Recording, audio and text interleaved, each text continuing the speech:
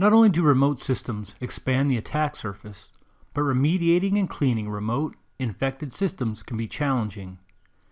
In a previous video, we saw an attacker use a remote system to gain access to high-value targets through the corporate VPN.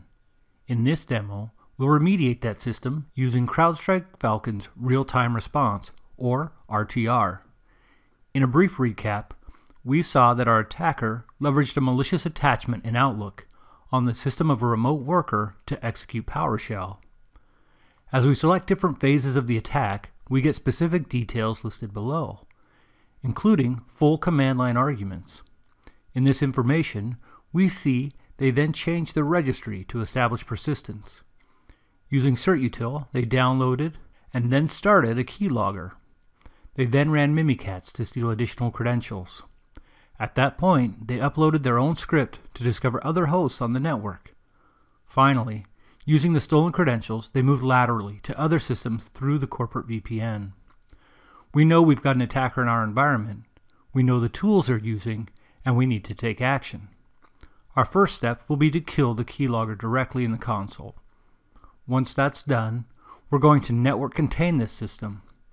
By containing a system, we prevent any communication to or from this host that might be malicious. We now use a RTR to connect to this system and get it back to a known good state. Real-time response can directly interact with the host with built-in commands such as get, put, kill, or even memdump. But RTR also takes remote response to the next level by permitting any custom scripts to be run. Those scripts could include anything from restoring a system, wiping a machine altogether, or just pulling logs. However, in this case, we know exactly what the attacker did, and we'll start by grabbing the script he used for system discovery, for later analysis, and perhaps an IOC sweep of our environment. Once we have that, we can delete the file.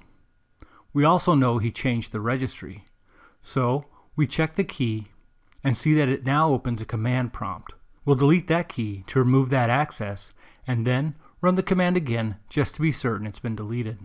We have now undone all the steps the attacker took and, after resetting their passwords, can get this remote user back to work without them having to ship their laptop to IT and be offline for days.